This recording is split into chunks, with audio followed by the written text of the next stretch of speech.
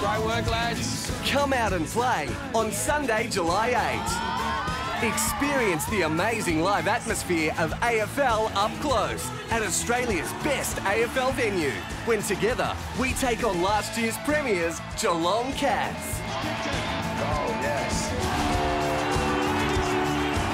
Sunday, July 8, 3.15pm, Metricon Stadium. Buy now at ticketmaster.com.au. Hi Matt, thanks for the question. We're not a one-man team. Obviously, Gaz is a great player and he gets a lot of the ball for us. But um, it's just obviously good for us uh, young boys to learn learn off him uh, how to get the footy and um, a lot of leadership things as well. So hopefully we uh, start playing as a team better and um, hopefully get a few more wins on the board. When we start getting more of the footy and, and that will obviously improve our performance. But you know, at the moment, uh, you know, he's great for our development and you know, we're learning a lot off him. So yeah, thanks, mate. You're right, Brandon.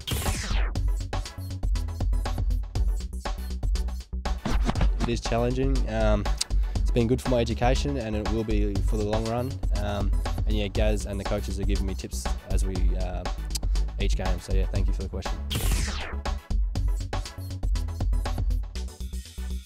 My favourite game in 2011, I assume it's um, one of ours, uh, Lockie, but um, yeah, I really can't go past the um, Port Adelaide one. Um, it's like you, you um, like you'll, you'll witness, mate, uh, or experience, mate, when you get a bit older, a bit like your first car, your first kiss from your girlfriend, um, our first win.